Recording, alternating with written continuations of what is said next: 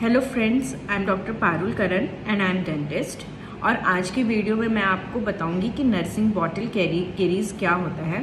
चाहे आप इसको नर्सिंग बॉटल कैविटी बोलिए या नर्सिंग बॉटल केरीज बोलिए। ये नाम सजेस्ट करता है कि ये जनरली बच्चों में ही होता है। जो बच्चे रात को सोने वक्त पे बॉटल लेकर के सोते हैं लाइक like दूध से भरा हुआ बॉटल या जूस से भरा हुआ बॉटल कोई सा भी मीठा चीज़ से भरा हुआ अगर रहेगा बॉटल और उसको वो मुँह में लेकर के सोते हैं तो वो नर्सिंग बॉटल केरीज उनमें जनरली दिखाई देता है जैसे जैसे एज बढ़ता है तो उनको ये चीज़ नर्सिंग बॉटल केरीज उनमें दिखाई देती हैं, क्योंकि उसमें आप इसको कैसे आइडेंटिफाई कर सकते हैं?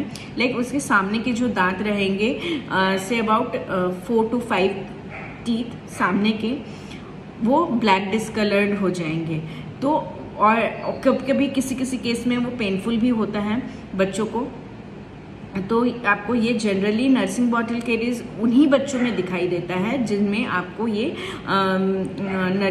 बॉटल लेकर के दूध का बॉटल लेकर के सोने का जिसको हैबिट होता है या जूस से भरा हुआ बॉटल जिसको लेने का हैबिट होता है बहुत सारे बच्चे ऐसा हैबिट जनरेट कर लेते हैं। सो so, इसका जो ट्रीटमेंट है वो कैसे आप कर सकते हैं कि आप धीरे धीरे उस हैबिट को ब्रेक करिए इंस्टेड ऑफ़ मिल्क और juice you can give water वो अच्छी बात है।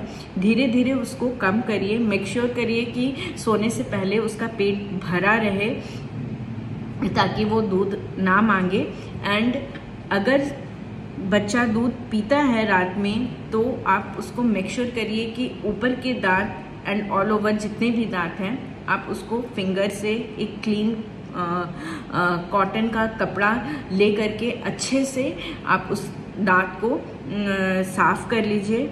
अगर बच्चे को नर्सिंग बॉटल केरीज हो गया है तो इन डैट केस आप डेंटिस्ट के पास जाकर के उसको दिखाइए। तो वहाँ पे सीमेंट जो होता है नॉर्मल जो सीमेंट रहता है, जिसमें फ्लोराइड का मात्रा बहुत ज़्यादा होता है तो उस, वैसे सीमेंट को हम लोग वहाँ पे डाल देते हैं ताकि इन फ्यूचर वो जो सीमेंट है वो फ्लोराइड रिलीज़ करें और बच्चे को कैविटीज जो है वो बढ़े नहीं। ऑब्वियसली जितना डैमेज हो गया है वो रिपेयर नहीं हो सकता है बट यस आगे फ्यूचर में उतना डैमेज नहीं होगा।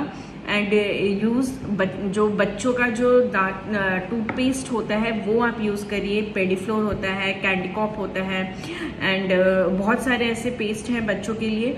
आप वही यूज़ इस्तेमाल करिए क्योंकि उसमें क्या होता है कि फ्लोराइड का जो मात्रा रहता है पीपीएम जिसको हम बोलते हैं जो फ्लोराइड मैं टूथपेस्ट का जो है, उसका भी मैं वीडियो आपको बनाऊँगी। बट इसमें जो आपको फ्लोराइड का मात्रा होता है, जो फ्लोराइड बच्चों को चाहिए, उतना पीपीएम में ही बच्चों के टूथपेस्ट में डाला रहता है, ताकि अगर वो ब्रश कर रहे हैं तो उनको कैविटीज ना लगे। बिकॉज़ फ्लोराइड से ही हम कैविटी को रोक सकते हैं।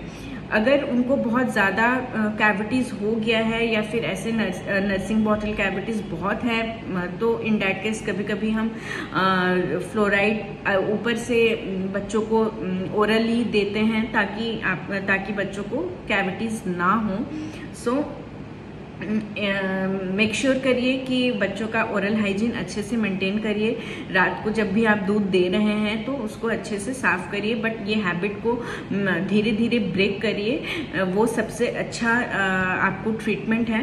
एंड अगर बच्चा नहीं बॉटल नहीं छोड़ रहा है उसको दूध चाहिए ही तो आप दूसरा हैबिट आप जनरेट कर सकते हैं कि अगर वो दूध पी रहा है तो आप फिंगर में एक कॉटन का कपड़ा, गीला कॉटन का कपड़ा लेकर के अच्छे से उसको वाइप कर दे। जो दांत होता है, दांत के अंदर के साइड से, बाहर के साइड से, दोनों साइड से आपको साफ़ करना है अच्छे से। और उसके बाद ही उसको सुलाइए। बीच बीच में आप उसको पानी भी दे सकते हैं। Okay thank you thank you for listening my video please share and subscribe thank you